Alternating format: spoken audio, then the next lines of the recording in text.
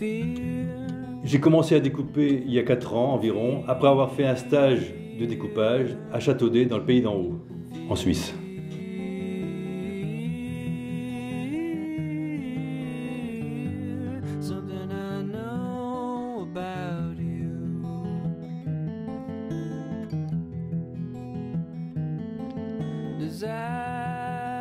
À la base, il ne faut pas grand-chose. Du papier spécial blanc d'un côté, noir de l'autre, un crayon à papier, un cutter et une plaque de coupe.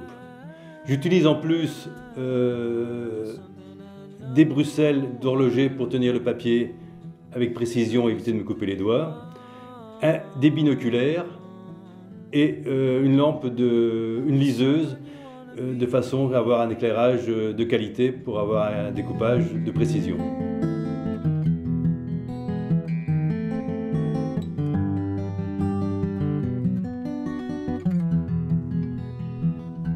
On commence par faire euh, plusieurs brouillons pour avoir les bonnes proportions, les bonnes dispositions dans, la surface. Et quand ça convient, quand ça me convient, eh ben je redessine directement sur, le côté blanc du papier. Et puis euh, je m'assure que toute la composition est d'un seul tenant et je découpe.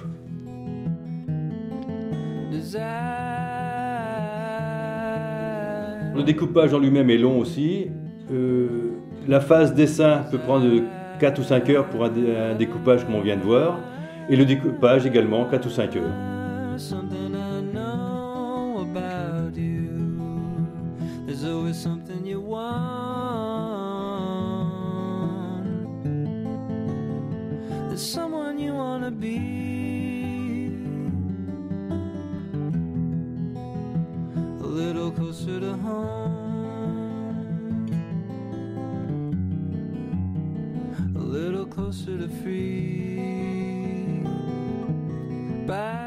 Je m'inspire principalement de nos traditions et de notre patrimoine. Alors ça va de la pointe Saint-Mathieu à certaines chapelles, moulin à vent. Actuellement, je termine un, un découpage qui est un petit peu différent pour de jeunes mariés.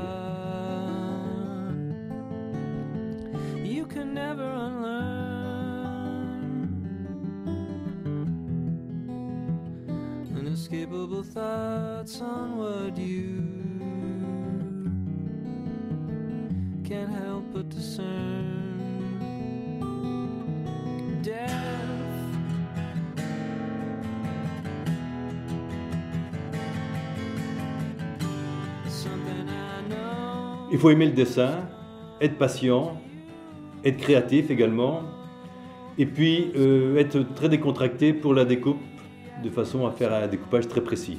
Travailler dans le calme est une des solutions, et en plus ça permet de s'isoler.